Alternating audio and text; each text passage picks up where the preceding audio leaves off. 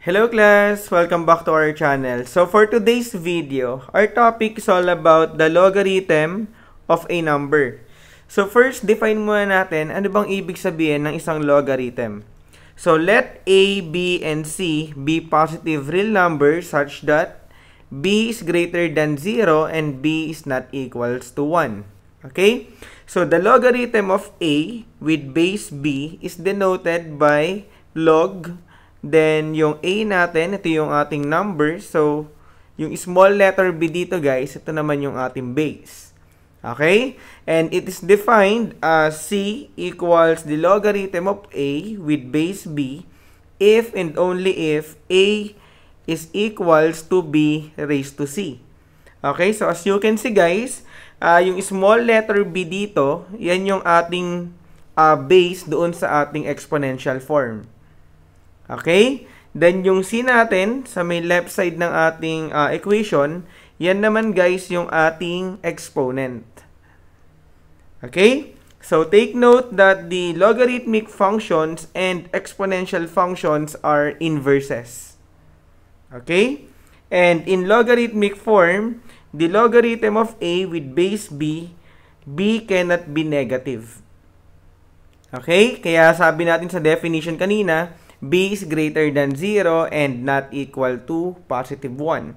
Okay? Then the value of the logarithm of a with base b can be negative. Okay? Yung value natin ang pwedeng maging negative o yung kanyang exponent. Okay? In exponential form. So, let's try our first examples.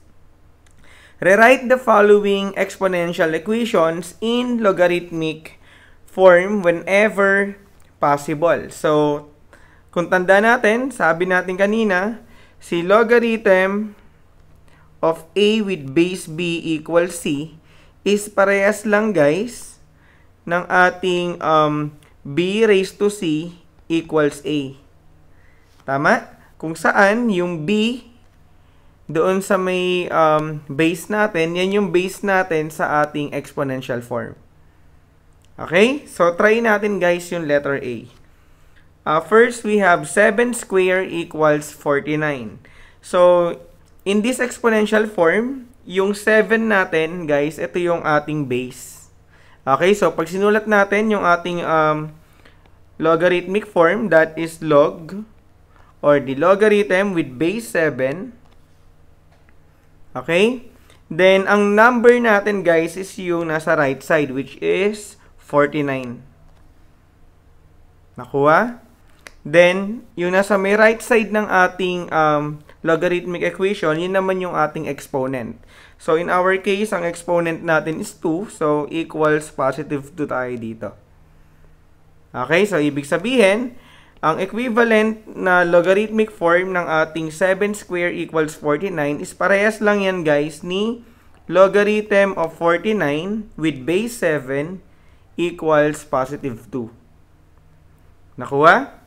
So, let's proceed to example number 2.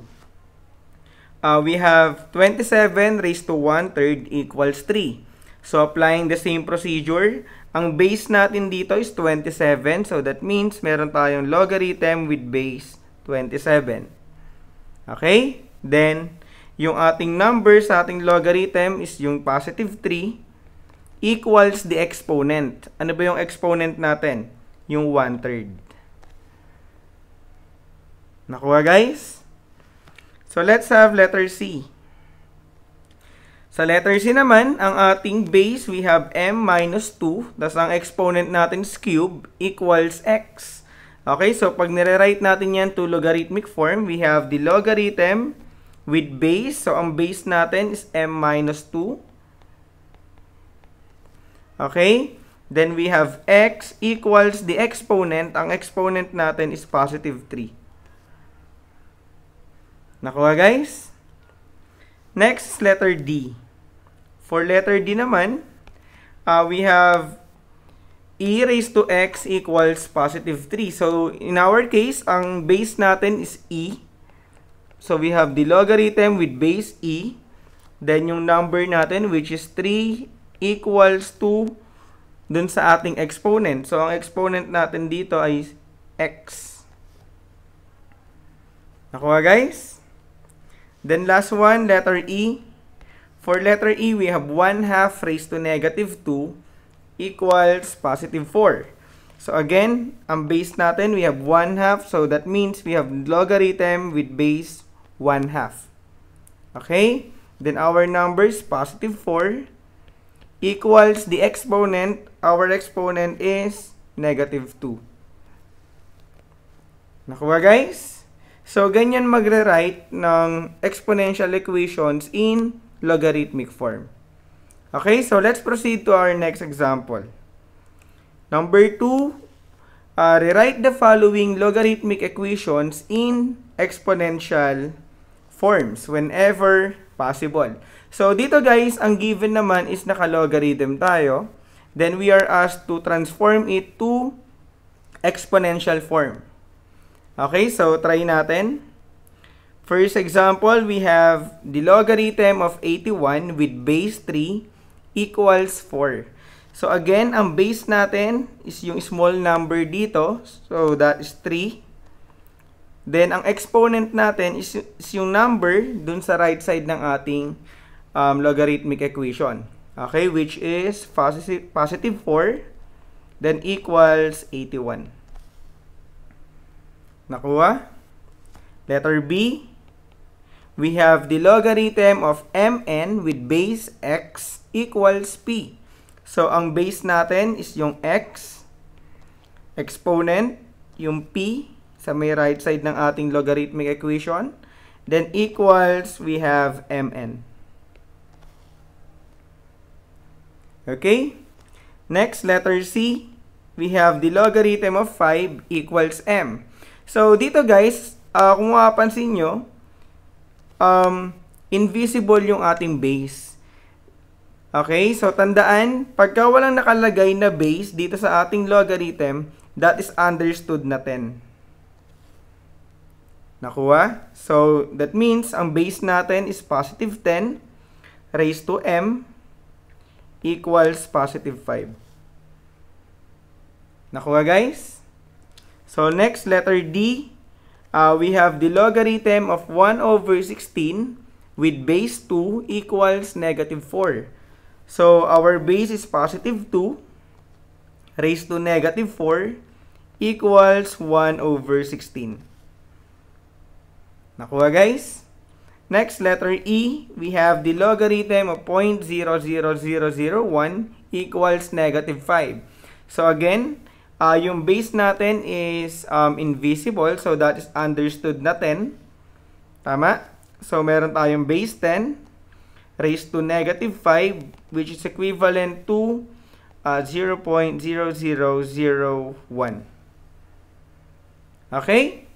So, naintindihan ba guys kung paano mag um, transform from logarithmic equations to exponential forms? So, next, try naman natin ibigay yung value ng ating logarithm. For our last example, sabi dito, find the value of each logarithm. Okay, so letter A, we have two, uh, the logarithm of 64 with base 2.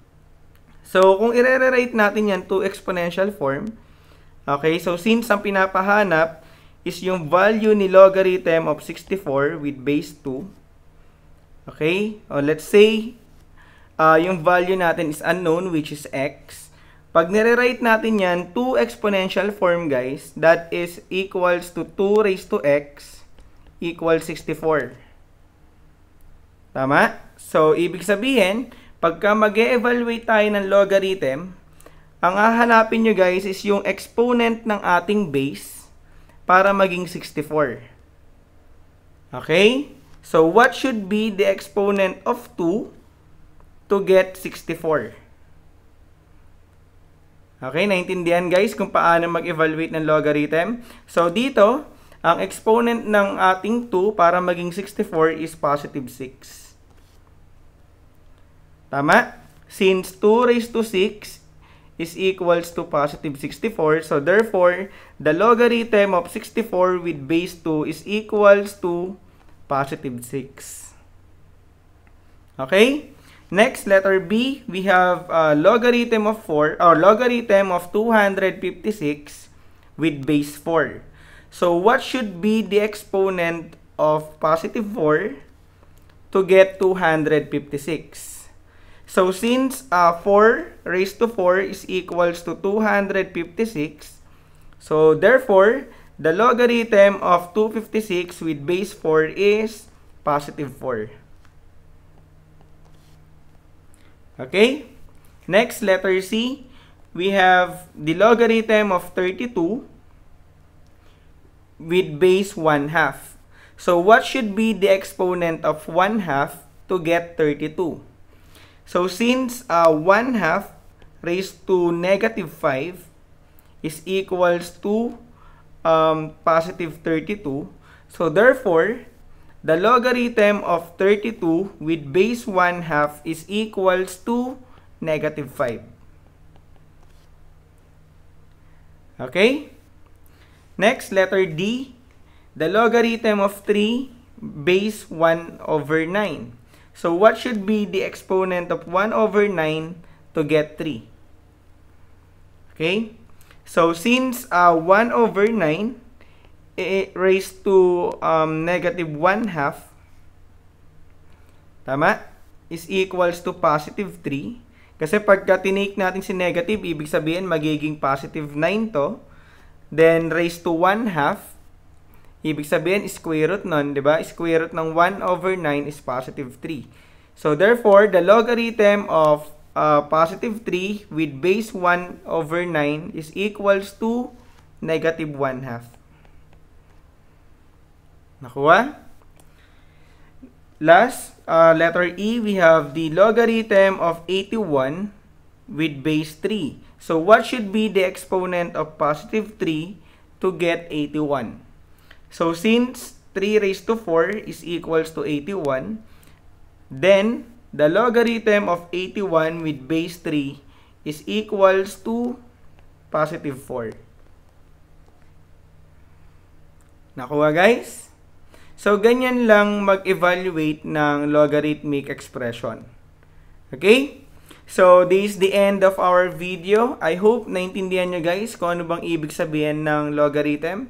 So, if you have questions or clarifications, kindly put them in the comment section below. Thank you guys for watching. This is Prof. D. I'll catch you on the flip side. Bye!